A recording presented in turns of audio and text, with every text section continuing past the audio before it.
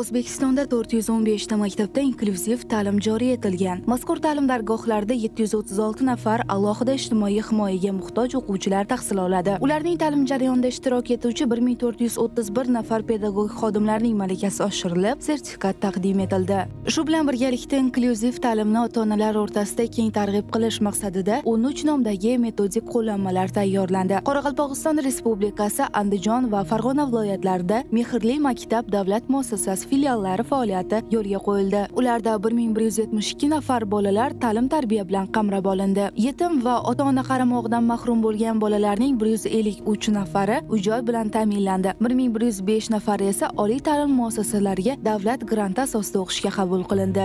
Inklyuziv ta'limni joriy etishda va uni rivojlantirib borishda ko'proq biza shu rivojlangan davlatlarni tajribalarini o'rganishga e'tibor qaratganmiz. Ayniqsa finlandiya davlatiniki buyuk britaniya davlatini yoki bo'lmasa amerika qo'shma shtatlari yaponiya davlatlaridagi e, belorussiya davlatini shu inklyuziv ta'limni yo'nalishlari uni joriy etilishini o'rganib o'shani bir nima deydi o'zbekistonga mos keladigan ya'ni e, dunyo tan olgan xalqaro tajribalar asosida takomiliga yetgan yo'nalishlarni tanlab joriy etib boryapmiz yunisef e, xalqaro tashkiloti bilan birgalikda e, hamkorlikda amalga oshirayotgan ishlarimiz bor. Bu e, ishlardan biri pilot maktablarini toshkentda joriy qilish.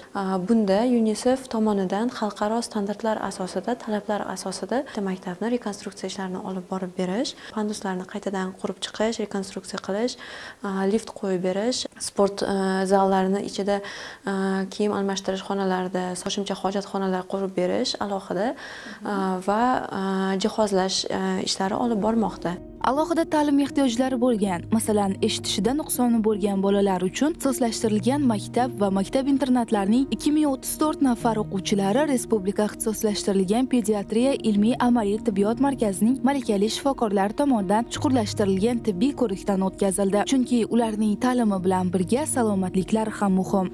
Nogironligi bo'lgan bolalarimizni ular uchun ixtisoslashtirilgan maktablarimizni zamonaviy o'quv dasturlari bilan o'quv metodikalari bilan ta'minlash ham rejaga kiritilgan edi aynan yigirma uchinchi yil davomida mana shu e, loyihalar doirasida e, bir qator ishlar amalga oshirildi. Ayniqsa sport musobaqalari o'tkazilib o'quvchilarimiz qobiliyatlarini ro'yobga chiqarishga imkoniyat yaratildi. E, bir nechta o'sha eshitishda nuqsoni bo'lgan maktab internatlarimizni bolalariga bepul eshitish apparatlari taqdim etildi. Ko'rishda nuqsoni bo'lgan bolalar uchun maktab internatlarni ularni o'zini o'sha ko'zi ojizlar uchun paralimpiya sport turlariga sport turlariga mo'ljallangan sport jihozlari bilan ta'minlanish yo'lga qo'yildi.